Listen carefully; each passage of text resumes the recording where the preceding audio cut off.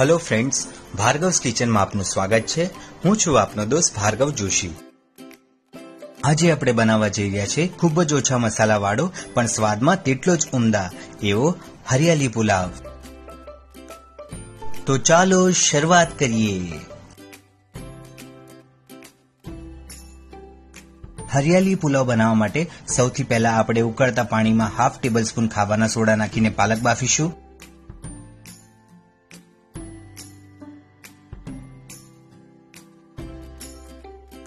મિત્રો, સોડા નાખવાથી પાલક કાળી પણ નહીં પડે અને તેનો કલર પણ ગ્રીન જ રહેશે.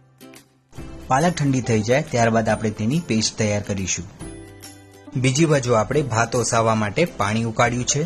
તેમાં આપણે ત્રણથી ચાર નંગ લવિંગ, મરી અને એક નાનો ટુકડો જાવંત્રી નાખ્યું છે.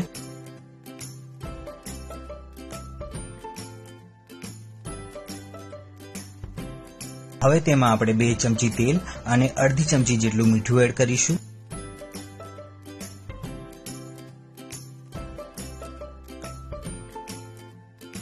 તેમાં આપણે બાસમતી ચોખા એડ કરીશું, જેને મેં અડધો કલાક ઠંડા પાણીમાં પલાળીને રાખ્યા હતા. મિત્રો, ઠંડા પાણીમાં ચોખા પલાળવાથી ભાત છૂટો અને લાંબો થશે.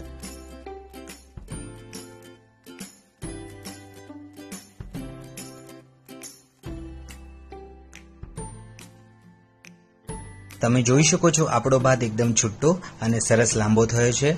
હવે આપણે પુલાવ બનાવવાની શરૂઆત કરીશું. એક પેનમાં ત્રણ ચમચી ઘી અને ત્રણ ચમચી તેલ લઈશું. તેલ ઘી ગરમ થઈ ગયા બાદ આપણે તેમાં આખા ગરમ મસાલા એડ કરીશું. ત્યારબાદ તેમાં જીરું અને વરિયાળી એડ કરીશું. હવે આપણે તેમાં ગ્રીન પેસ્ટ એડ કરીશું, જેને મેં કોથમીર, લીલા મરચા, ફુદીનો, આદુ અને લસણ નાખીને તૈયાર કરી છે. આ પેસ્ટમાં ફુદીનાનું પ્રમાણ વધારે લેવાનું છે, જેથી પુલાવમાં એની રિફ્રેશિંગ ફ્લેવર આવશે. ત્યારબાદ આપણે સ્પ્રિંગ અનિયન એડ કરીશું.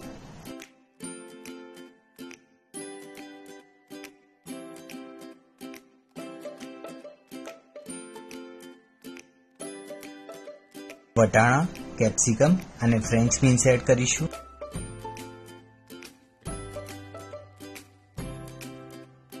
હવે આપણે તેમાં સ્વીટકોર્ન એડ કરીશું. જો તમારા પાસે સ્વીટકોર્ન ના હોય, તો તમે તેને સ્કીપ પણ કરી શકો છો. હવે બધું જ બરાબર હાઈ ફ્લેમ પર સોતે કરવાનું છે. ત્યારબાદ સ્વાદ અનુસાર મીઠું અને મીડિયમ કટ કરેલું ટામેટું એડ કરીશું.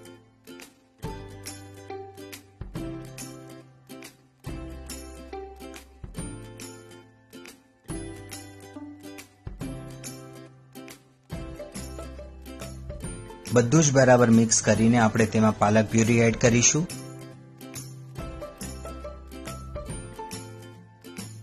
હવે આપણે થોડું ફ્રેશ ક્રીમ એડ કરીશું. તેની જગ્યાએ તમે ઘરની મલાઈ પણ યુઝ કરી શકો છો.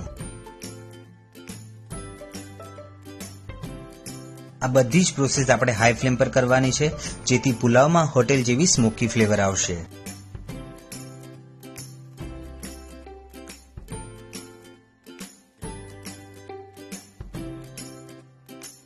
હવે આપણે થોડો થોડો કરીને ભાત એડ કરીશું. અહીં આપણે એક સાથે બધો ભાત નથી નાખતા. કારણ કે બધો ભાત નાખીશું, તો મિક્સ કરતી વખતે ભાત તૂટી જશે અને ગ્રેવી પણ બરાબર મિક્સ નહીં થાય.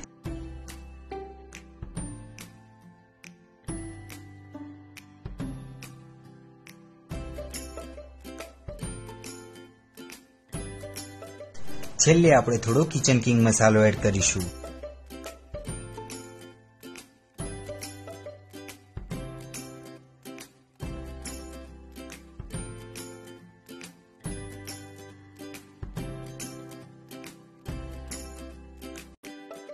તો મિત્રો, તૈયાર છે આપણો આ હરિયાળી પુલાવ. તો છે ને એકદમ સરળ. હળદર મરચા વગર પણ ફક્ત લીલા મસાલાથી જ આ પુલાવ ખાવામાં ખૂબ જ સ્વાદિષ્ટ લાગે છે.